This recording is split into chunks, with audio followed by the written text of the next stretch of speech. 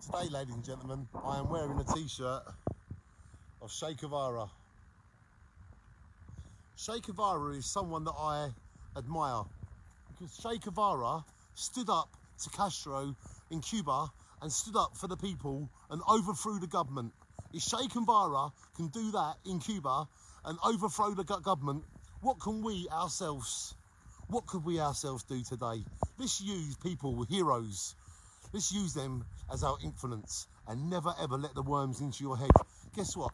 Che Guevara did so much for his country and his people. He freed people from government rule. He freed people from being hurt and enslaved.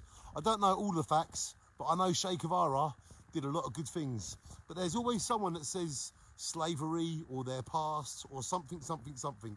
I don't think it's fair to live in the past. But guess what? Our past is our future.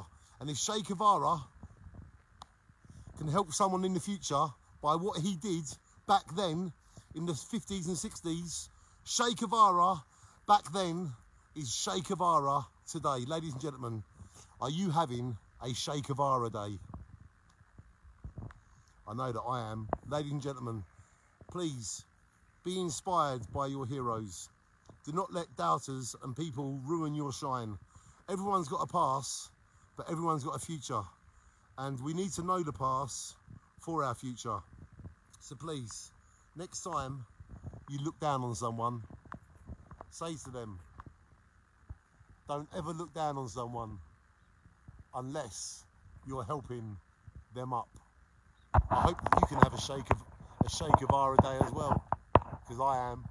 Shine on Che Guevara. And please, have a shake of Guevara day. Have a Che Guevara day. Yes, yes, yes, okay? Shine on.